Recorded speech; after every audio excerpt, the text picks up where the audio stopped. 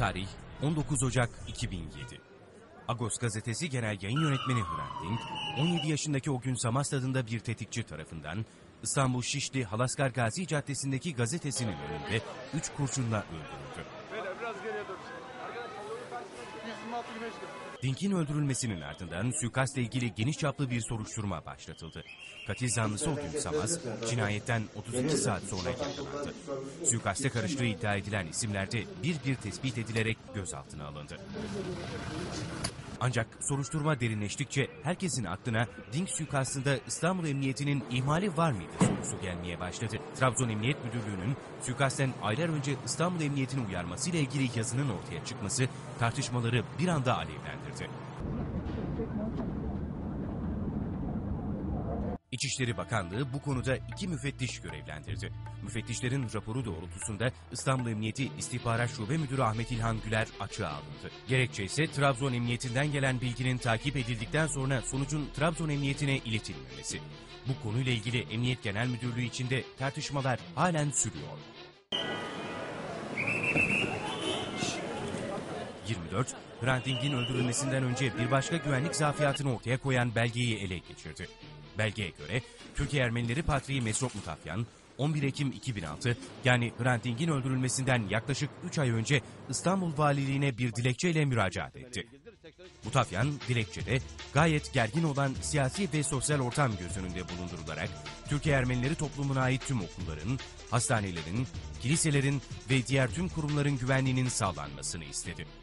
İncelenen dilekçe valilikçe işleme konuldu.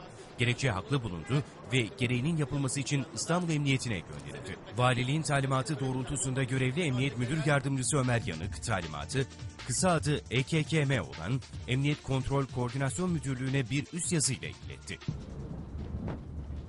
Gönderilen yazıda Fransa Meclisi'ne sunulan sözde Ermeni soykırımını inkar edenlere ceza verilmesi hususundaki kanun teklifinin 12 Ekim 2006 tarihinde Fransa Meclisi Genel Kurulu'nda kabul edilmesi de göz önünde bulundurularak ekli listede isim ve adresi yazılı Ermeni azınlık vatandaşlarımıza ait yerlerde daha önceden alınmış emniyet tertip ve tedbirlerinin gözden geçirilerek emniyet tedbir ve tertiplerinin artırılması, görevlerinin uyarılarak müteyakkız bulunmalarının sağlanmasıyla gelişmelerden Güvenlik Şube Müdürlüğü'ne bilgi verilerek herhangi bir aksaklığa meydan verilmemesini arz ve rica ederim denildi.